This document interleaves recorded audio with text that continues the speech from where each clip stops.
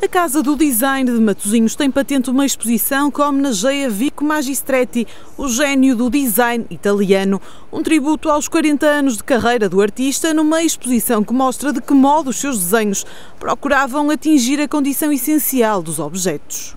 É uma exposição itinerante, eh, uma exposição dedicada a um dos mestres do design italiano, o Vico Magistretti, eh, um dos inúmeros eh, nomes que se afirmam no, pós-Segunda Guerra Mundial, num período de desenvolvimento industrial em, Itália, e nesta exposição que trabalha com o arquivo do Vico Magistretti, que atualmente é gerido pela fundação com o mesmo nome, o visitante vai poder ver alguns objetos icónicos e inúmeros esquiços, desenhos de peças, perceber um bocadinho o processo de trabalho deste, deste designer notável.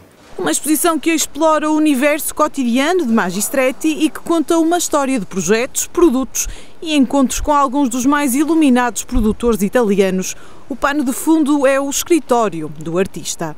O visitante perceberá que é uma exposição bastante leve, pensada para ser montada e desmontada e adaptar-se a vários espaços.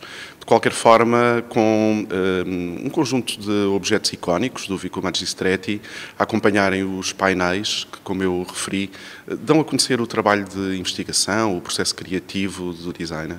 Uma exposição que foi apresentada pela primeira vez em Milão, passou pelo Centro Cultural de Belém, em Lisboa, e oferece agora ao público do norte do país a possibilidade de conhecer algumas obras daquele a quem também chamam o gênio da lâmpada.